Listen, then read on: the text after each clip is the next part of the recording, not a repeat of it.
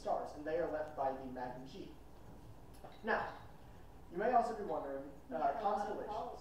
He had a lot of close friends. Yes. He had a lot of He has a lot of boys. The constellations in the sky. We learn in Elder Scrolls Online that these constellations actually exist, like they have being.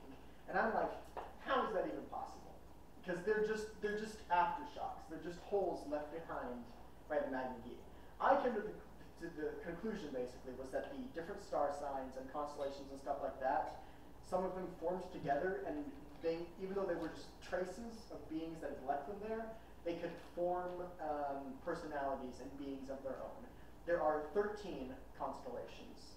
Um, the three big ones, or the guardian ones, are called the mage, the warrior, and the thief. Um, the evil one is called the serpent. It doesn't have a month. Every every other every other uh, star sign correlates to the month. What? That's such a Gemini thing. and then there's there's other constellations uh, which are like that. They basically line up with the um, standing stones. Um, also, um, one of the uh, Daedric princes is born here because um, Meridia, who was a follower of Magnus, she was a Magna Ge, uh, she decided to stay behind and create her own realm of oblivion because she was like, hey, uh, fuck the other Daedric princes actually. Um, Holy shit, she's a real one. um, not necessarily. She basically just hates Molag Bal and stayed behind because she hated Molag Bal so much that she just wanted to destroy it. Yeah, it's a real one. Yeah. Okay, so all of this tearing holes thr- straight through to Aetherius, something pretty magical happened, and this was all part of Lorkhan's plan. Because now a Aetherius could breathe down into Nirn and stabilize Nirn. So in Magnus leaving and his followers leaving, they actually created the stability which they were running away from. Yeah. Siri's on. Oh, she does this sometimes. Okay. So, the spirits who remained in Mundus either died or were drained of their divinity. The Et'Ada are spirits limited by mortality and gods compared to elves or men. The Ehlnofey lost their original forms. Nearly all life, plant, animal, or monster, comes from the Ehlnofey.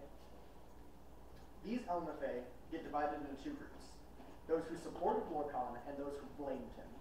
The opposers of Lorkhan were led by Auri-El, and Auri-El, uh, at this point, was strained by the space created by Lorkhan, because they are the god of time, and they're having trouble in here.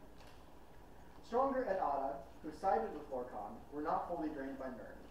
Uh, these uh, become many of the Aedra we know today, such as Kyne, uh, possibly legally distinct from Kynareth, it's un- uncertain.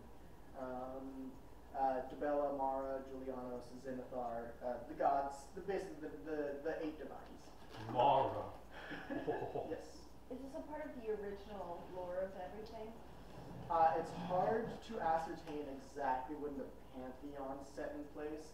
I want to say this is stuff that Kirkbride would have written, because Kirkbride gets into really this divine shit.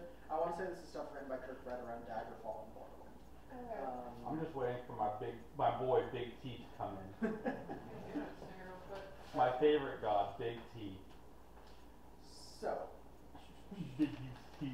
um, uh, around this time is when Akka but we've already covered Akka shattered. We don't need to all of that. Um,